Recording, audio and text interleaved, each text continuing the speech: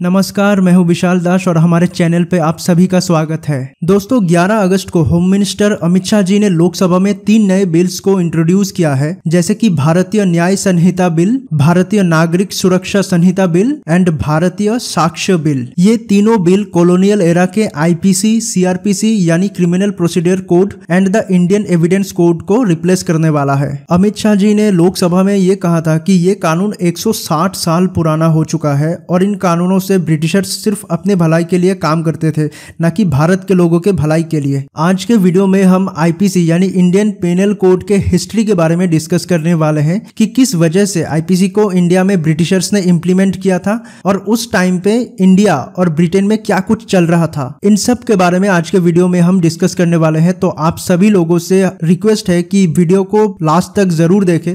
मैंने बहुत रिसर्च करके ये वीडियो बनाया है। तो चलिए शुरू करते हैं। बहुत लोग आईपीसी और सीआरपीसी में कंफ्यूज हो जाते हैं। आईपीसी किसी भी क्राइम को डिफाइन करता है। जैसे कि अगर कोई मर्डर होता है, तब आईपीसी सेक्शन 302 लगेगा। लेकिन उस मर्डर का इन्वेस्टिगेशन किस प्रोसेस से होगा, वो सीआरपीसी में मेंशन है। यानी आईपीसी में क्राइम को डिफाइन किया जाता है और उस इन्वेस्टिगेशन का प्रोसेस सीआरपीसी में लिखा होता है। इंडियन पेनल कोड को 1860 में इनेक्ट किया गया था और 1 जनवरी 1862 से लागू किया गया था। जब ब्रिटिशर्स इंडियन सबकॉन्टिनेंट पर अपना कंट्रोल एक्सपेंड कर रहे थे, तब भारत के कानून बहुत कॉम्प्लेक्स था और इसी वजह से उनको एडमिनिस्टर करने में प्रॉब्लम्स आ रहा था। लेकिन एक्चुअल में ब्रिटिशर्स अपने कंट्रोल को और ज़्यादा मज़बूत करने के लिए इंडियन पेनल कोड को थॉमस मैकोली ने 1833 के चार्टर एक्ट में इंट्रोड्यूस किया था। और इसमें English common law Hindu common law Muslim common law और भी कई लॉस को इंट्रोड्यूस किया गया था। थॉमस बेबिंगटन मैकोली का टाइमलाइन था 1800 से लेके 1859 तक। उन्होंने सोचा था कि इंडिया के लॉस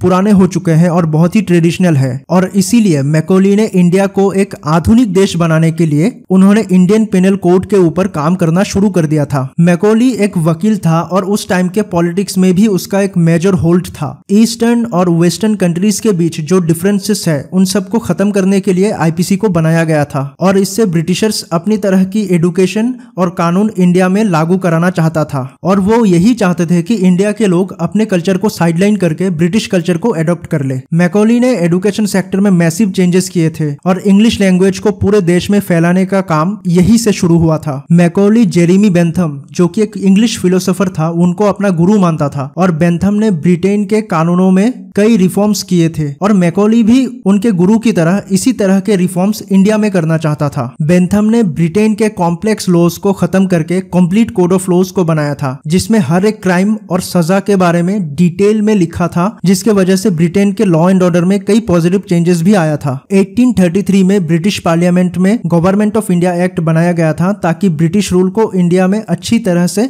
ऑर्गेनाइज किया जा सके। और एक लॉ कमीशन को बनाया गया था मैकोली के अंडर, क्योंकि उनको इंडिया के लॉज को आधुनिक बनाना था। मैकोली ने पहले क्रिमिनल लॉज के ऊपर फोकस किया था और आईपीसी का पहला वर्जन 1837 में कंप्लीट किया था। इंडिया में उस वक्त जो कानून चल रहा था, उन सबको आईपीसी ने साइडलाइन कर दिया था और ब्रिटिश कॉमन लॉ के तहत मैकोली ने आईपीसी को बनाया था। मॉडर्न स्कॉलर डेविड स्कायू ने प्रॉम्प्ट करके ये कहा था कि आईपीसी से ब्रिटिशर्स अपनी तरह के कानूनों को इंडिया में इम्प्लीमेंट करना चाहता था। इसलिए नहीं कि इंडियन लॉज पुराने हो चुके हैं, बल्कि इसलिए क्योंकि इंग्लिश लॉज में रिफॉर्म कराना ज़रूरी बन गया था। इसका मतलब है कि ब्रिटेन में उस वक्त लॉ एंड ऑर्डर में रिफॉर्म कराना ज़रूरी था और वहाँ पे लॉ एंड ऑर्डर को इजीली रिफॉर्म भी नहीं किया जा सकता था, क्योंकि पॉलिटिकल पार्टीज़ बहुत स्ट्रांग था वहाँ पे इंडिया के कंपैरिजन में। और इसी वजह से जब मैकोली को लॉ एंड ऑर्डर्स को रिफॉर्म करने के लिए फ्री हैंड दिया गया था, तब उन्होंने आईपीसी को इंडिया में लागू करने का फैसला लिया था, क्योंकि इंडिया में मेजर पॉलिटिकल होल्ड उन्हीं के पास था और ज़्यादा प्रॉब्लम्स भी नहीं होता। लेकिन बहुत सालों तक मैकोली आईपीसी को इम्प्लीमेंट नहीं करा पाए थे, क्योंकि ब्रिटेन की सरकार और वहाँ के लोग इसका अपोज कर रहे थे, क्योंकि ये हुबहू ब्रिटिश कॉमन लॉ का कॉपी था। लेकिन 1857 में, जब सिपाही विद्रोह होने के बाद फ़र्स्ट जनवरी 1862 में इस कानून को लागू कर दिया गया था, ताकि दोबारा कोई भी इस तरह की विद्रोह ना कर पाए। ओके तो यही तक था आज का वीडियो।